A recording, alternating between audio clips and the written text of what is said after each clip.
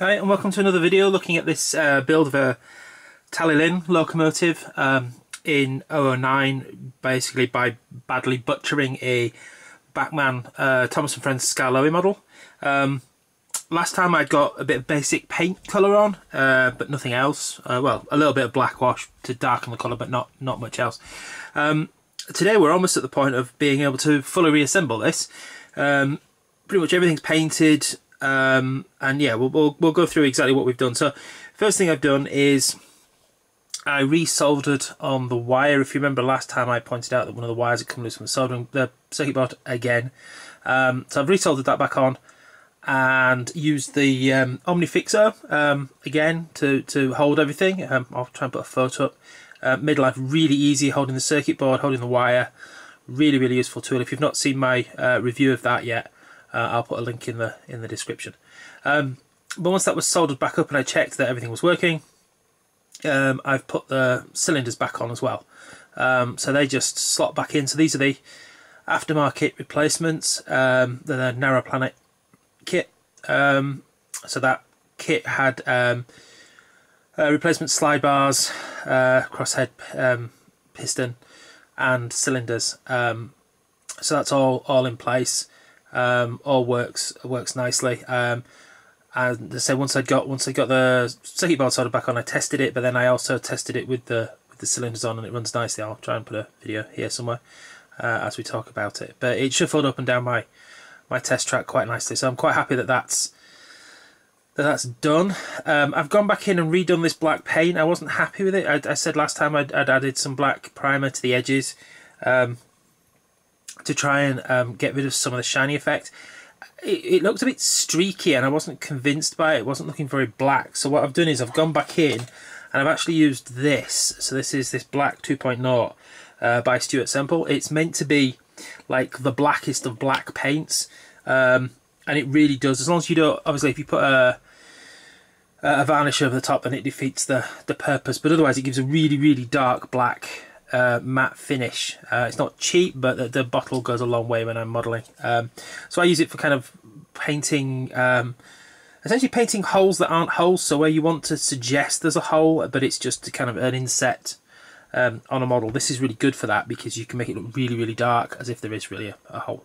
Um, so yes, that's a, that's a useful tip. Um, I'll give a link uh, in the description. I don't know if he still makes this exact version, but he makes other black as black paints. Um, so yeah, I'll stick a stick a link in the instruction in the description.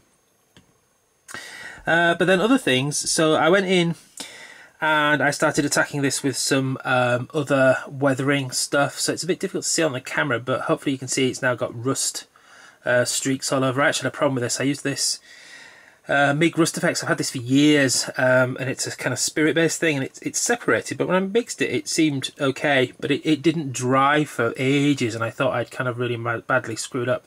Um, but um, yeah, it's all it's all drying it now. It looks really good. Close up, it looks really, really good. But I've also been in and added some of the, the detail parts back in, so you can see I've got uh, pipe work here. Um, I've got the grab rail here so they can get up to the, the, the tank filler. Um, I've got the um, handrail at the front, um, spectacle uh, window surrounds, so they're the turned brass ones I made. Uh, grab rails down the side of the cab are all in. Um, they're a bit loose at the moment. They're in tiny little holes and they don't glue very well, but they go into holes in the in the in this piece. Uh, so hopefully, once it's all assembled on the loco, it shouldn't be it shouldn't be too bad. But that's all that's all done. Um, the windows need glazing, but I can't do that uh, until I'm definitely certain I don't want to put any more varnish on because obviously um, it fogs up the up the glass. Uh, I tend to use the Micro Kristal Klear glue for doing the glazing, certainly small ones like this, rather than trying to cut plastics the right size, and it goes all foggy if you um, if you spray it. So I don't want to do that quite yet. So that'll probably be like the last thing I do will be the windows. Um, so yeah, so that's the the loco body um, pretty much done. Um, for the bits of the footplate that are left, um, I've fitted the buffers. So these again are the focus. Again, these are the brass ones that I turned. So they're meant to be kind of blocks of wood with a, a band round, all painted uh, black. Um, I've also added a coupling hook. There was hooks on the original um, Bachmann model. Um, I seem to have lost one of them, and the other one's a bit kind of it's a bit it's not great hook looking.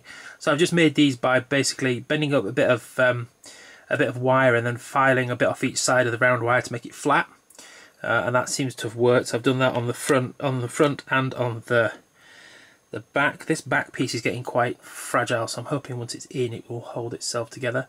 Uh, but you can see buffers and a coupling hook, so that's all that's all nicely done. Um, so yeah, so it really is just a question of, of reassembling this thing now. Um, and then once it's reassembled, I will add a few bits of uh, weathering powders. Just I like the texture that it adds, the kind of um, the dry and slightly bumpy texture on top of the paint uh, and on top of the the last um, varnish layer. Um, so this had some Testors Dullcote, uh, which I still have some of.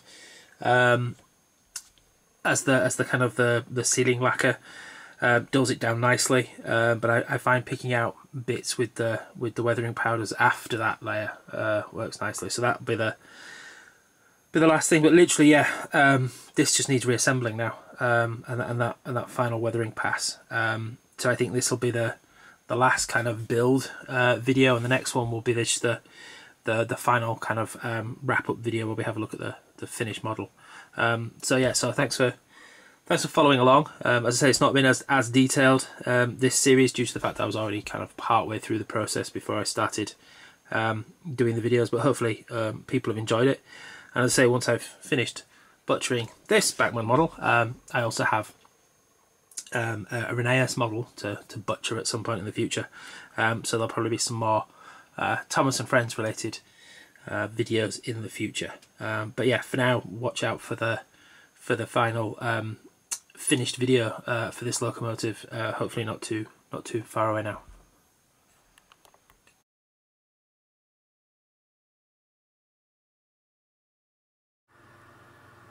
So apologise apologies for the slightly uh, wobbly handheld footage. I, I, put my tripod away for the day, but um, yeah, um, it's going to be a while before the next video. Um, things didn't quite go to plan. Um, I thought I'd have a quick assembly, and as you can see, I've managed to split the footplate part in two. Um, it's snapped right in the middle where the coupling block, uh, sorry, the coupling hook uh, goes. Um, so that that was slightly unfortunate.